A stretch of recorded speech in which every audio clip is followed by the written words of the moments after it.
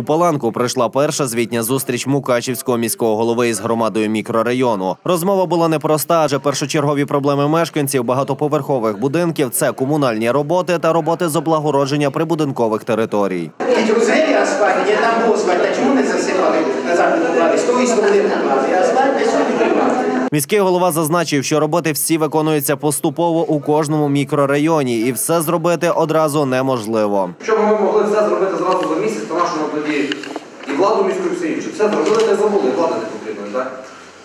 Тому що у нас все тоді було відремонтовано.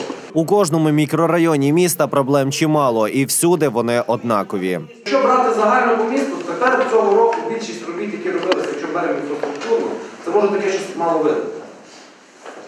Тому що це комунікації, інженерні мережі, але вони робилися. Також проблема із каналізацією виникла в одній із багатоповерхівок. Храм плитка.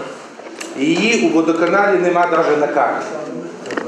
І ми виїжджали із заступником міського голови, був ваш голова ОСББ, де ми прийняли рішення, що ми знайдемо ту каналізацію, бо її треба знайти. Якщо труба дірява, її треба замінити. Якщо не дірява, то її треба обзирати. Розповів міський голова також і про нововведення із маршрутними таксі. Вже на наступній сесії, яка відбудеться 17 листопада, будуть голосувати за рішення про створення комунального підприємства, яке буде контролювати міські маршрутні перевезення. Подібні зустрічі обіцяють провести у кожному мікрорайоні.